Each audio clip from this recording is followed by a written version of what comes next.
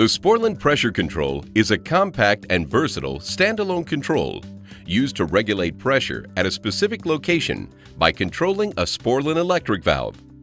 Its operation is flexible enough to be configured to control both low side and high side pressure of a refrigeration or air conditioning system. Optional sensors are available to show monitoring of subcooling or superheat.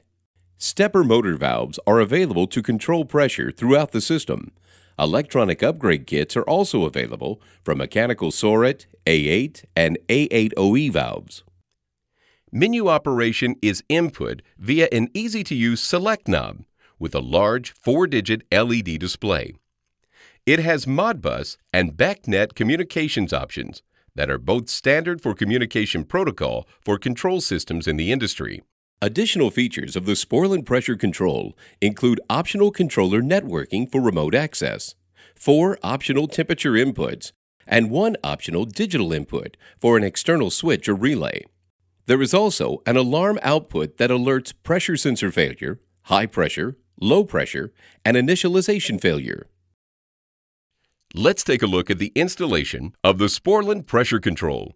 The tools you'll need include a small flat screwdriver, a cordless screwdriver, needle nose pliers, wire cutters, and two number 8 half-inch self-tapping screws to mount the DIN rail.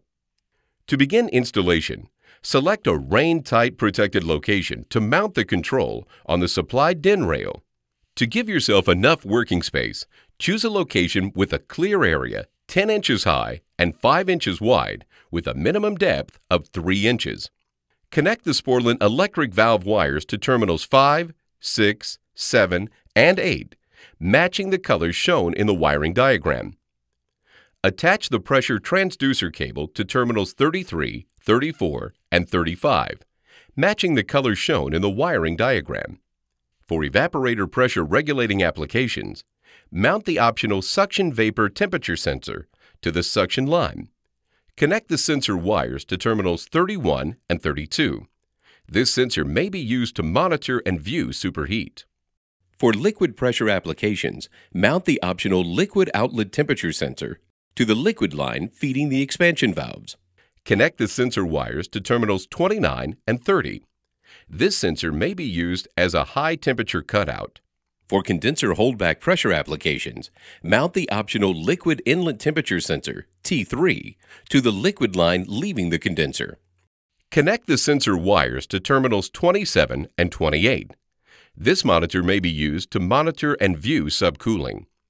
Connect terminals 25 and 26 to a digital input. A short or closed contact from an external relay will enable pump down and drive the valve to 0% or 100% based on the pump down direction set in the control. Connect power wires to terminals 1 and 2. Transformer requirements are 24 volt AC or DC at 40 VA. Before attempting to set up the pressure control, make sure the refrigeration or air conditioning system has been turned off until after setup is complete. Power up the control.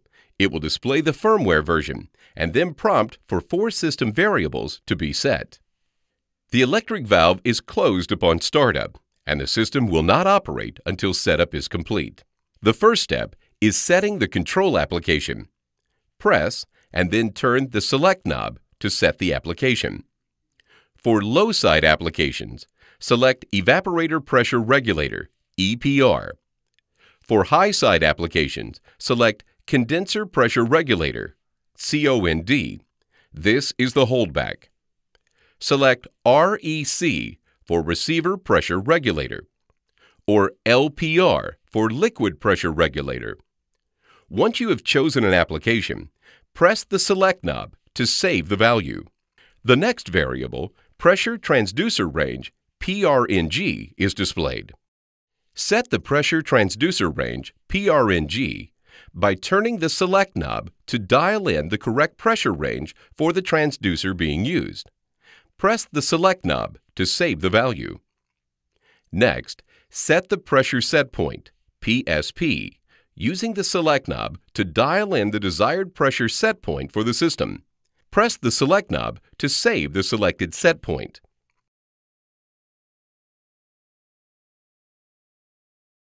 Finally, set the valve steps, STEP, by selecting the correct number of steps for the electric valve being used.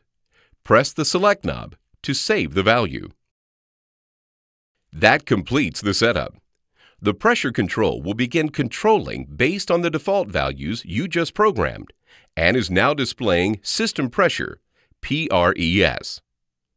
The controller is now in the Process Values menu. Rotate the knob to view the values. Enter the Set Point menu. Press the Select knob for 5 seconds. Now, enter the password and press the Select knob again. The default password is 111. To view a parameter, rotate the Select knob to the desired parameter and press the knob. The default value will be displayed. Turn the Select knob to change the value, and then press the Select knob to enter the value and return to the Set Point menu. After all the desired parameters are set, turn the Select knob to ESC and press the knob to save and implement all changes.